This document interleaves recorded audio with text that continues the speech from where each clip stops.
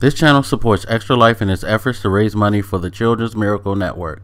For more information about how to donate and join in their efforts, go to the link displayed here. Extra Life. Play games, heal kids. What up, everybody? This is your boy Blak Magus, and I have a request um, for you guys. Could y'all stop it with this Game Pass, um, PlayStation Plus shit? Like, seriously. For the last couple of weeks now, we've had this weird back and forth debate in and around Sony and Microsoft subscription uh, services. Um, Sony, of course, coming out with a tiered plan for PlayStation Plus, which will allow you to play some of their older games and some of their newer games, um, mainly cloud based, uh, at least for the older games. Um, and then you have Microsoft's Game Pass, of course, which has been around for a while. And people are just jumping back and forth on which is more valuable, which is better, why this one sucks, that one sucks. The latest being Game Pass sucks because Microsoft said that they'll have their first party exclusives on there, and they keep delaying or don't come out with any first party exclusives. Look, all of these plans are fine for who wants to invest in them. I personally do think that Game Pass seems like the better option, but depending on what platform you play or how you choose to use it, whatever you want to use is fine. It's totally fucking fine. They both have value for people who are interested in the libraries that they have. They both have value for people who are going to use them, you know, enough to justify the purchase. They both have value for whoever wants to pay their fucking money for it.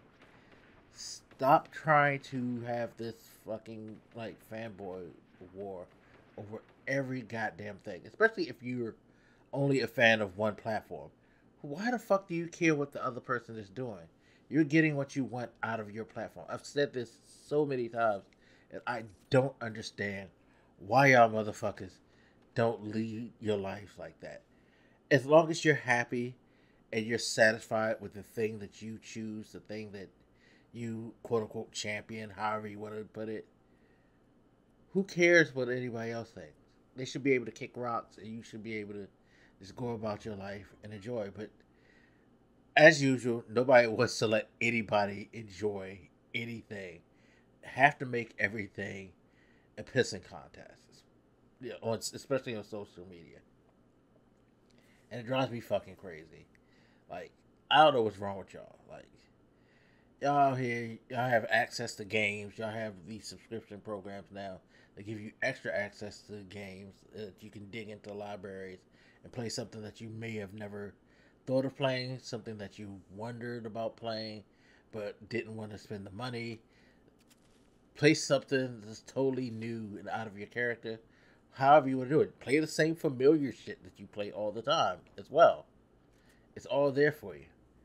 It's just whatever system and whichever, you know, program works the best for you. And if you can afford all of them and you want to have all of them, get all of them. It's okay.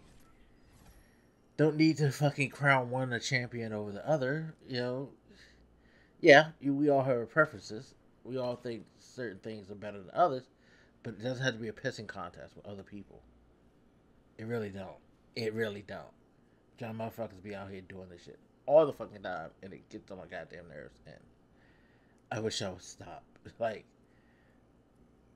after all these years, and especially with the way the platform gaming is going, and you're getting things like crossplay and all that, it's becoming even more ridiculous to me that people still want to maintain these attitudes in gaming, but